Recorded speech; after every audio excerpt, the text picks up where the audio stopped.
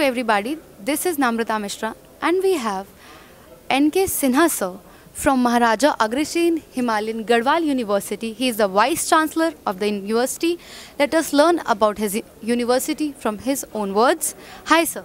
Uh, hello, uh, myself Dr. N.K. Sinha and uh, I'm Vice Chancellor uh, of uh, Himalayan Garhwal University uh, in Uttarakhand. Uh, we are the first hill university in Uttarakhand which are providing uh, uh, multi-level courses uh, in different streams like hotel management, computer applications, engineering, yoga, and uh, pharmacy, law. All these courses we are running over there. And as you know that uh, NEP has been implemented in uh, Uttarakhand. And internship is a great part of this NEP. So we are always looking for the best places where we can uh, have internship of our student. Our students are getting internship in Mumbai, Bangalore, Dehradun, Delhi, Gurgaon, in in um, cities, in, in all these areas. Uh, so I expect uh, in future that our student will go abroad also for the internship and will earn uh, foreign currencies.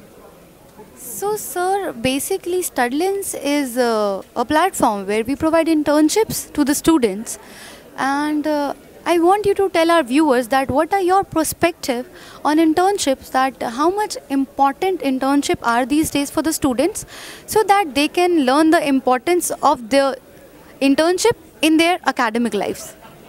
You know, this uh, uh, world, knowledge is not uh, sufficient.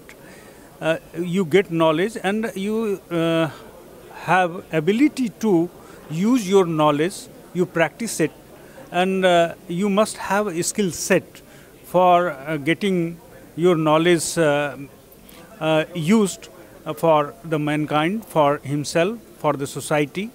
So, skill is um, quite important thing nowadays, and every student has to go through it.